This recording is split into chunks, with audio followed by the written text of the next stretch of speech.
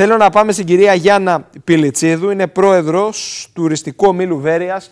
Να την καλησπερίσω και να την ευχαριστήσω θερμά. Τι κάνετε; Καλησπέρα κύριε Παναγιωτόπουλε. Πολύ καλά. Εσείς πώς είστε; Σας ευχαριστούμε θερμά. Μεταφέραμε κάποιες εικόνες. Η αλήθεια είναι έχουμε μείνει έκπληκτοι. Αν και κάθε χρόνο ε, συνδεόμαστε προκειμένου να μεταφέρουμε το κλίμα. Για πείτε μας λίγο κάποιες λεπτομέρειες αναφορικά με αυτό το, το ξεχωριστό φαινόμενο ε, ε, της φύσης αυτή την εποχή στην περιοχή σας.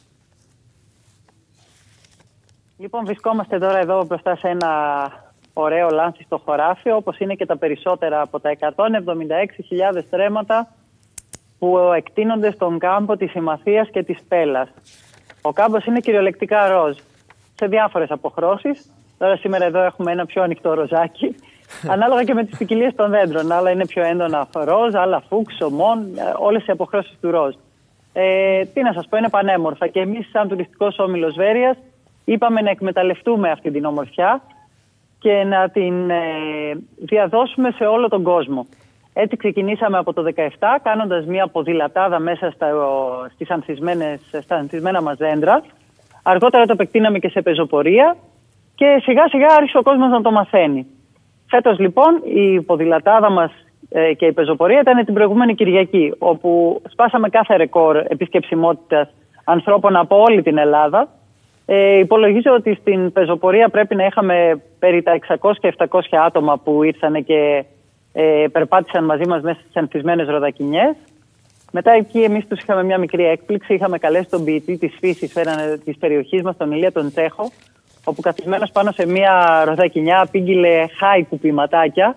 Αυτή η ιαπωνική, ε, η ιαπωνική μορφή γραφής ποιημάτων. Και με την ευκαιρία και της ε, Παγκόσμιας ημέρας Ποιήσης, ο τουριστικός όμιλος προκήρυξε και έναν διαγωνισμό για ε, ποιηματάκια χάικου.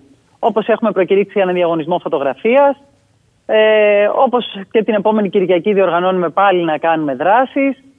Κάναμε μια δράση την προηγούμενη Κυριακή με την Δημόσια Βιβλιοθήκη της Βέρειας, την γνωστή αυτή βιβλιοθήκη, ζωγραφική για παιδιά, πώς βλέπουν τα παιδιά τον κάμπο μέσα από τα δικά τους μάτια. Είναι αυτό που ε, λέμε ότι. Γενικώς προσπαθούμε να κάνουμε οτιδήποτε. Η να φύση μας δίνει ευκαιρίες.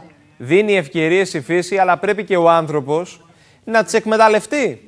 Να πάει παραπέρα, να, να διαμορφώσει και να εκπονήσει ένα σχεδιασμό και να πει εδώ τι κάνουμε τώρα. Πέρα το εκμεταλλευτούμε. Ο τόπος έχει ανάγκη αυτή την εξωστρέφεια. Είτε έχουμε να κάνουμε με ένα παράκτιο μέτωπο, παραλιακό μέτωπο, είτε έχουμε να κάνουμε με ένα κάμπο. Έτσι ακριβώς όπως τα λέτε. Και άκουγα το προηγούμενο θέμα που είχατε στη συζήτησή σας. Είδα ότι και εκεί οι άνθρωποι το ίδιο προσπαθούν να κάνουν. Ακριβώς. Να έχουν ε, τουρισμό, να καλέσουν κόσμο να έρθει κοντά τους. Για εμάς ε, είναι μια εποχή και ε, είναι παράδοξα τα πράγματα. Είναι μια εποχή που είναι απολύτως νεκρή. Δεν έχει τίποτα. Έχουν περάσει οι απόκριες που στην περιοχή μας έχουμε την άουσα με τις μπουλε και είναι ένας πόλος έλξης. Το βουνό μας δεν έχει τόσο χιόνι για να είναι το χιονοδρομικό ενεργό. Οπότε ήταν μια τελώς νεκρή εποχή και με ένα απολύτως, ε, πώς να το πω, outsider ε, προϊόν. Δηλαδή ένα αγροτικό προϊόν που το πήραμε και το μετατρέψαμε σε Πόσο διαρκεί ε, αυτή, αυτό το σκηνικό, το μοσαϊκό χρωμάτων εκεί στην περιοχή; Περίπου ξεκινάει στα μέσα του Μάρτη, 10, κάπου εκεί περίπου του Μάρτη, εξαρτάται βέβαια πάντα από τις καιρικές συνθήκες.